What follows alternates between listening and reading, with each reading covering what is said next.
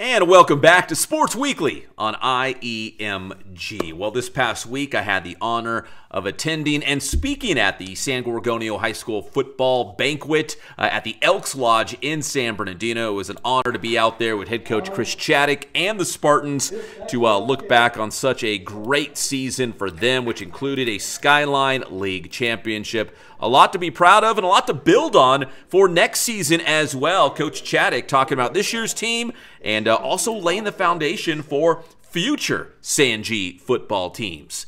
Here's Coach.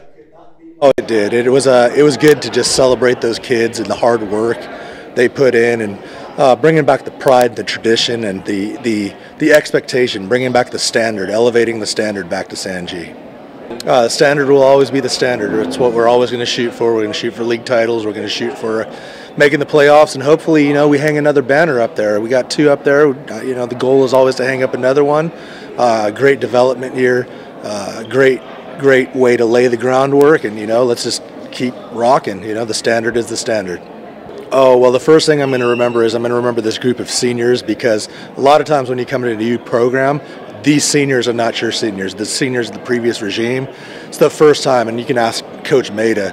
Uh, this is the first time I've ever seen it in a program where these seniors were my seniors, so I'll remember that. Um, you know, the the good young developing JV team um, that you know finished eight and two. It was their first winning season in a while. Um, I'll just remember everything. The family dinners that we had. There's there's so much that I'll remember about this season, uh, and just learning to uh, just accept, you know, the gravity of uh, being here at my alma mater. What a blessing it is. You know, um, a lot of people would look at that as pressure. Um, I don't look at it as pressure. I look at it as just a beautiful thing, and, and it's great to rebuild.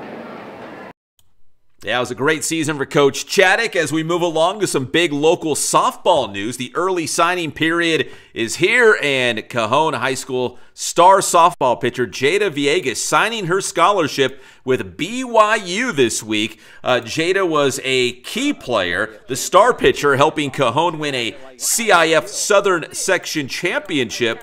Uh, not last year, but the year before. Also, another great playoff run last year in Division Three, which including that win there on their home field against Orange Vista. Jada is widely regarded as one of the top, if not the best pitcher in the entire Inland Empire, and she'll be back for one more go at it. Her senior season coming up for the Cowgirls. So, congratulations to Jada and her family. We are going to have an interview with Jada Villegas on a future Sports Weekly here on IEMG. Really looking forward to that. She is already a CIF champion, has done a lot of great things, and one more season to go at Cajon High School. And finally, here on Sports Weekly on IEMG, man, we had a really cool event here in the city of San Bernardino as they have teamed up with the Dodgers, yes, the LA Dodgers. You probably heard of them, uh, especially in the news recently with the big Shohei Ohtani signing. But also on the same day, the other big news besides Shohei Ohtani was well, Dodger Dreamfields are coming to the city of San Bernardino. These dream fields will renovate Blair Park. Not one, not two, but three different fields at Blair Park will now become Dodger Dream Fields.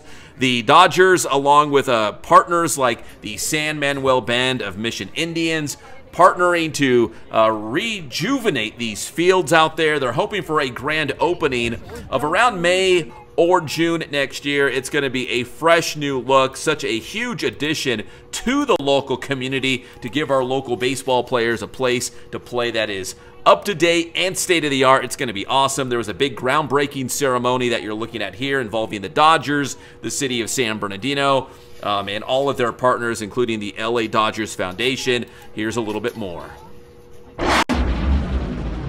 Afternoon and welcome to the groundbreaking of our 61st, 62nd, and 63rd Dodger Dream Fields here at Blair Park in the city of San Bernardino. At the Los Angeles Dodgers Foundation, we build and we refurbish baseball and softball fields in underserved communities to provide safe spaces and sources of pride for families in their own neighborhoods. Everyone deserves an adequate space to play and to gather, and revitalizing Dodgers Dream Fields creates green space, green space and life-changing opportunities. Today, as we break ground, we lay the foundation for a brighter, more inclusive future. These fields represent not just a place to play, but a space to dream, grow, and thrive. Let us embrace this opportunity, nurturing the spirit of our youth and preser- preserving the unique culture and identity of our beloved San Bernardino despite the challenges we face. To the Dodger Foundation, everybody here in San Bernardino, like Nicole said, that I'm a local kid, grew up in Barstow, went to school at San Bernardino Valley, and uh, so happy to be here today. I was driving here today and thinking, where am I going here? I've never, all the years I spent here in San Bernardino, I've never been in this part of the area and seeing the mountains, and all of a sudden I drove up and I'm like, here it is, wow. Like it's a, it's a dream gonna come true for the neighborhood, the young kids that live here, a place you can trust. Bring your kids here and play baseball. And I'm so excited to be a part of. Yeah, it was great to see Dino Ebel, the assistant coach for the LA Dodgers, former San Bernardino Valley College baseball star out there for the big groundbreaking ceremony. And uh, the Dodgers, they're hoping to have 75 of these dream fields built by 2033 to mark the 75th anniversary of the Dodgers move from Brooklyn to Southern California. And of course, the Dodgers got a lot of fans here in the city of San Bernardino. Well, that's going to do it for this edition of Sports Weekly on IEMG. You know what to do. Subscribe to the IE Media Group YouTube channel. My name is Pep Fernandez and we will see you next time.